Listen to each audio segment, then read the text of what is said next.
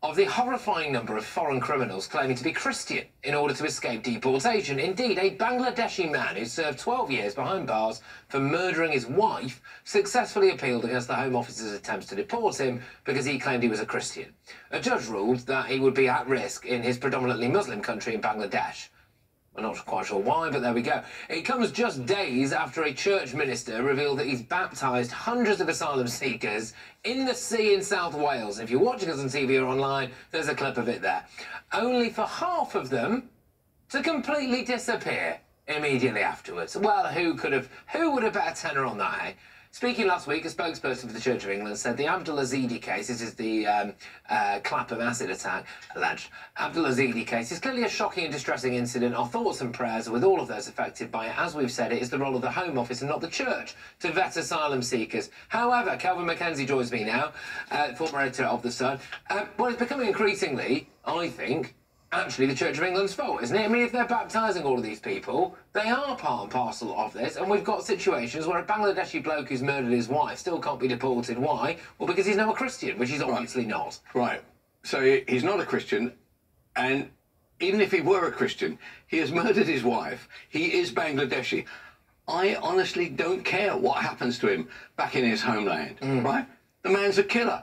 Why why should it be our responsibility to, to nurture him and find him work or, or, or do whatever it is for it? This is a problem for his own country, and it, it's a it's his own country whose job it is to defend him. If there are, unless they are a nation yeah. where, if they are a Muslim nation, where actually they think it's quite a good thing for Christians to be taken apart. And there are, of course, countries within the Middle East in which that view is very much predominant. So it's an absolute disgrace. This mm. the Church of England's role in all this, and not only the Church of England, other churches as yes, well, true. Baptist churches and the like, right?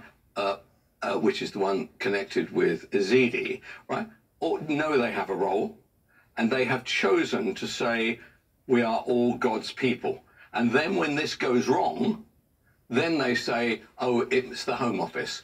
I'm afraid they are led by the Archbishop of Canterbury, who stands up constantly and says, boat people, come on over. And on that basis, if they want preferment within the Church of England, then the way to get it is obviously to baptise people. Should victims of asylum seekers who've converted to Christianity and then gone on to commit crimes and where they've used their conversion to Christianity as the basis to stay in the country be able to sue Justin Welby? Well, that is a very good idea, and I think they should definitely. Well, the, the, real question is, the real question is, why does the church, whoever it is, whether it's this pastor, by the way, who shows he, he's basically in favour of doing this, why do they think it's a good idea to be duped in this way? They know full well that these people are not Christians, right? So why do they do it? Mm. What is in it for them? Mm. Is there some donation to the church being made? Does it make them feel better personally?